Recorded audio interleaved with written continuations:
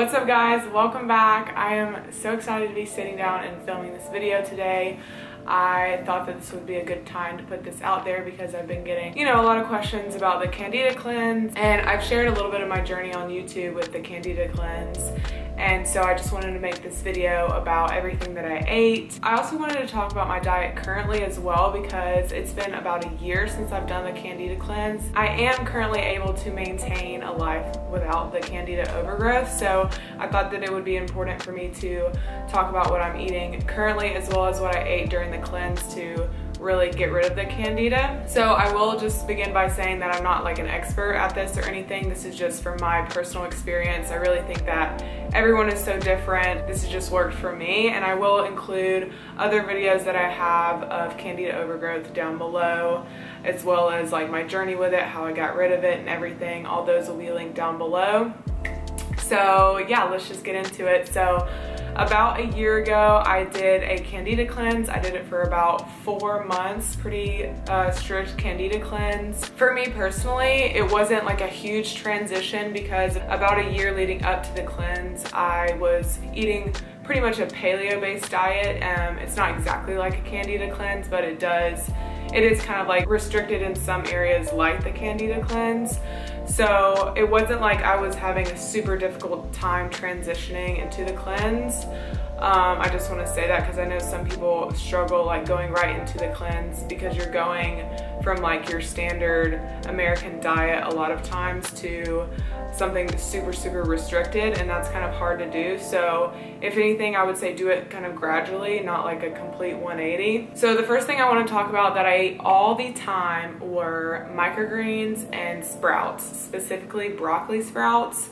Broccoli sprouts really help that detoxification process, which is super important during your candida cleanse. It's like the highest, it, broccoli sprouts has like the highest sulforaphane content in it, which helps with detoxification. So anyways, I ate that a lot, um, pretty much every single day maybe there would be a few days that I wouldn't have it. Um, and this is something that you can easily grow in a jar. At home, a lot of times I would just go pick it up at Whole Foods. Same with the microgreens, I would go pick it up like at Whole Foods. Sprouts also has microgreens.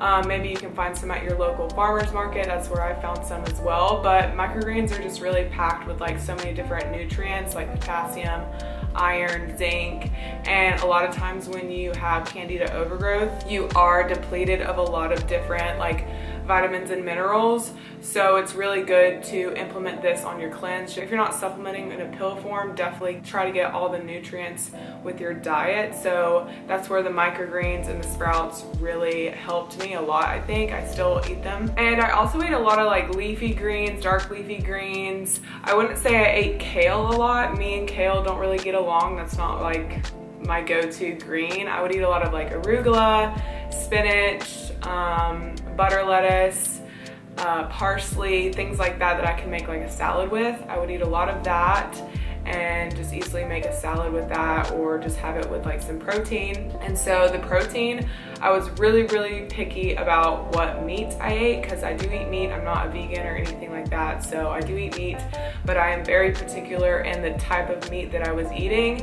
Um, I'm still like this. I'm still very particular with the meat that I'm eating. So for instance, if I was getting beef, I would really try to make sure that it was 100% grass fed. That tells you basically that it was raised in a pasture on a farm where it could roam and eat grass all day. It wasn't given antibiotics or hormones, which is really great. You don't want any kind of additives like that in your meat. I ate a lot of like ground beef. I would go get ground beef at like Aldi's or Trader Joe's has good ground beef. They have 100% grass-fed beef. Organic, free range or pasture raised chickens. That's like the best quality chicken that you can get if it's like pasture raised um, and I definitely always would try to get it organic. That's another thing as well as like eating things that are organic because they aren't going to be sprayed with that pesticides and the pesticides are toxic. So you're trying to detox your body when you're doing the candida cleanse. So you don't want to put any additional like toxins in your body, so just be aware of that as well. Obviously, I didn't eat 100% organic every single day all the time, but like when I could, I would try to eat organic. I would eat a lot of fish, so wild caught salmon was a go-to. Definitely get your fish wild caught because that's gonna be the best quality fish that you can get. Um, but yeah, I really just ate beef, fish, ground turkey, um, organic ground turkey, chicken, mm, I ate eggs, of course. I ate eggs a lot um, for breakfast. Yeah, it's just really important to try to get high quality meat whenever you can if you are someone who eats meat. So I would also incorporate non-starchy vegetables. So these are things like asparagus, cauliflower, cabbage, um, I would definitely try to get like a variety of different vegetables in my diet because you're kind of wanting to build up your gut microbiome and feed the good bacteria in your gut. And so giving your gut a diverse range of food and not like eating the same thing every day really helps with giving that good bacteria the nutrients it needs to thrive um, instead of feeding the bad bacteria. So that's what I did. I really tried to eat a range of different vegetables, uh, zucchini, broccoli, cauliflower, cabbage. Yeah, I wasn't like super restricted on the vegetables that I would eat. I wouldn't necessarily eat high starchy food like white potatoes. I would, however, eat sweet potatoes. I would have sweet potatoes maybe like once or twice a week. It wasn't something that I would eat every single day, but it's not like you want to do like no carbs ever. You just kind of want to do like a lower carb diet, you know? Like it's not like you're cutting out all the carbs. You're having them kind of in moderation, I would say. I also want to say that I did do a video on foods that I avoided and I'll link that up there for you just so you can understand what I didn't eat as well. I love bread and obviously you can't have bread during the Candida cleanse. You can't have grains, gluten, anything like that. So I love pasta, I love bread, all those things. So it was really important to me to find alternatives to that. My go-to was like almond flour. I would have almond flour biscuits, which are really amazing. There's a lot of different recipes on Pinterest for that. Um, cassava flour is great. Uh, you also can use buckwheat flour. I didn't really use that as often, but you can use buckwheat flour. But really my go-to was almond flour, coconut flour, cassava flour, those were like the three main ones that I used a lot. I also ate cassava flour pasta. There's a brand called Jovial that I get at Whole Foods. I'm sure you can get it online too, but it was so good. It honestly saved me so many times because I needed something quick. I would just have some jovial pasta. I never felt like super restricted or super, what's the word? What's the word I'm looking for? Super I never felt like I was missing out on something. I always tried to find an alternative to my favorite meals. So if it was pasta, I would find grain-free pasta, bread, grain-free bread, and obviously you do probably need to cook a lot at home. I definitely developed a love for cooking during this whole process. There's no way really around that. I know there are some brands out there that do make grain-free paleo friendly alternatives but a lot of the times those have like sugar in them as well so it's just better to make them at home so you can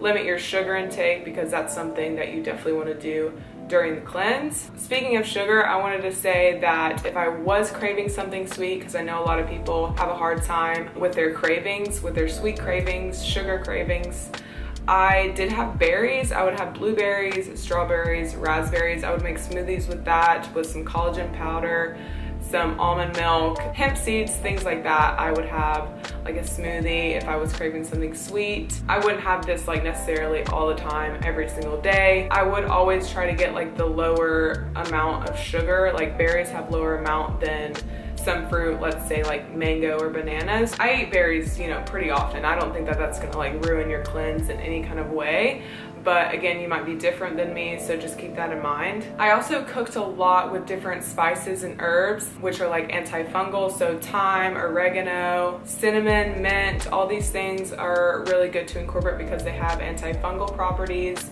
And I also had a lot of antifungal foods so onion garlic I would cook with those a lot. I would also make my own dressings a lot. You know I would put just random things in a blender and blend it up and hope that it tasted good it honestly was a very experimental time I'll definitely do a video of different dressings if you want that because that's something that I think is really important because for me, the dressings make or break the food. There's some dressings at Trader Joe's that you can get, but honestly, you can make your own really easily. My go-to was like apple cider vinegar, which is an antifungal, tahini, some lemon, olive oil, some garlic, and you just make it the right consistency.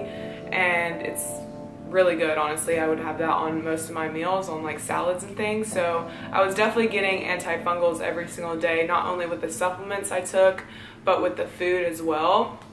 I do have a video on all the supplements that I took. I will link that down below for sure. I also ate a lot of like nuts and seeds. I would make sure that it would kind of be low in mold contents. Nuts and seeds can sometimes be higher in mold and you want to obviously avoid mold during this time. I mean, you should always avoid mold, but definitely during this time. So I would have things like almond, pumpkin seeds. Pumpkin seeds are a great antifungal, so I would definitely have those a lot. Sesame seeds, sunflower seeds, chia seeds, flax seeds. I would make chia seed pudding a lot. It's great, really high in fiber as well, which is really important to get your fiber intake. So chia seeds, flax seeds. You can make like a flaxseed pudding too. You can even make flaxseed bread, which I've done. I have a video on that as well. And you can have that type of like bread during the cleanse. I think it's really good. I'll link that video too. And last thing is healthy fats. I would have avocado, olive oil, avocado oil, things like that. I would definitely not recommend like canola oil and those types of oils, but healthy fats really important in your diet in general, but in the cleanse too, I would definitely incorporate some avocados, nuts and seeds, things like that. That's basically everything I had during my cleanse. And currently my diet is mainly paleo. If you've been following my channel and the videos that I put out, I have been trying to heal my leaky gut as well. So I had candida overgrowth and I found out I had leaky gut. I really haven't gone back to the way that I used to eat. Um, and I do want to say that I really did eat pretty standard American diet. I would go out to eat, I would go to Chick-fil-A, fast food, I would go out partying, drinking, all those things. So I really did have to change my lifestyle completely. Like I am I am a very different person than I was before I started the cleanse. It really it really does make you question like who you're surrounding yourself with, what you're eating, where you're going, your daily life, things like that. But yeah, I'm basically eating pretty much the same food. I don't really try to incorporate that many antifungals in my diet anymore. Of course, I have things like garlic every once in a while. I'm not super strict on the antifungals that I'm eating and I am eating more fruit now. I'm eating bananas again, which I freaking love uh, because bananas make your smoothie like so much better. So I've been incorporating more things slowly. I would reintroduce them slowly. So I would have like a banana maybe once a week starting out, then go into twice a week, seeing how my body feels with that. Because I know fruit has really high amounts of sugar. Uh, same thing with honey. So I would, when I would bake, sometimes I incorporate more honey now than I did during the cleanse. Uh, but I definitely don't try to go like overboard with the sweets. I really don't have any refined sugar. I don't really go out and buy like baked goods. If I want like a baked good, I'll just make it myself. So yeah, I really do still try to avoid the sugar intake. I don't really have any grains either. I do not have gluten. I've recently started to incorporate a little bit of rice in my diet, but that's not something that I would necessarily like recommend you doing right away, but I have incorporated things like that slowly just to see how my body reacts. Basically, I am eating more paleo-based, but still really focusing on whole nourishing foods. I don't really eat out a lot and if I do eat out I'll try to get something like a salad and protein some veggies so I cook a lot and that's something that you're probably gonna have to do. Not a lot of restaurants even know what a candida cleanse is. It's not something that you would necessarily have a lot. Oh, I also wanted to say that I would have soups a lot, like warm soups. I still have very warm, nourishing soups a lot. You can make like a really good butternut squash soup, or I would make kind of this Thai inspired soup with coconut milk, and coconut milk is a good antifungal as well. I'll have potatoes now um, not every day. So really just trying to mix up my diet every day. That's how I've kept the candida overgrowth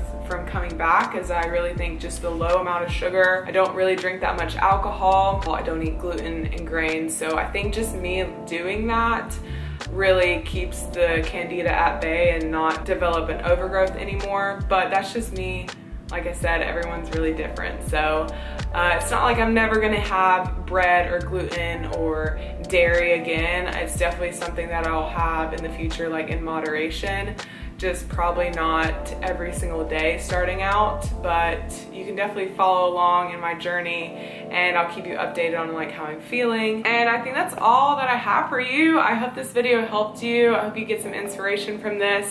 Definitely reach out if you have any questions. And if you are doing the cleanse, I wish you the best of luck. You got this. It's honestly so worth it. It's been a year since I've done it now and I'm still feeling really great. And yeah, I just wish you all the best of luck. If you like this video, give it a thumbs up, subscribe, and I'll see you in the next one. Bye.